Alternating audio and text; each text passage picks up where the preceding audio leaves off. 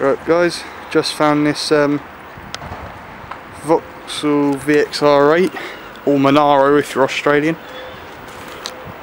This is actually a Holden if you're Australian actually. Um, it's parked here in Whitstable in combo with a Buick Bonneville over there, what it's called. Something like that, Bon, Bonneville, Bonneville. Not too good on my American classics but yeah, we've got a V8, I think producing something in the regions of 400 brake horsepower. And coming towards us now is that 612 I've just showed you.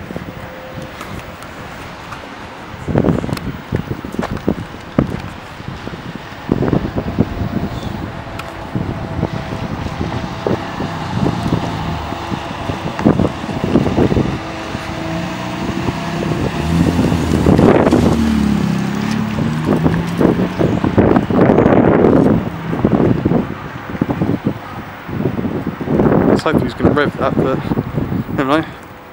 But there you go, it's another view of that 612.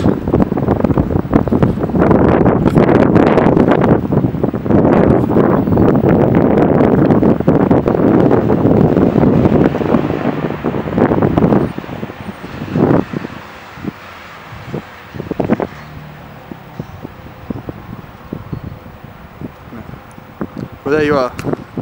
There's a few cars in Whitstable for you. Just pan back down. There you go. The view of that Buick. Thanks for watching. Hello, it's Nathan here. Um, we have a favour to ask everyone who watches this video. Um, I'm going to put a link in the description to one of uh, the websites that I'm part of, GTV Network, and we need you to decide what would be our new profile picture for this channel.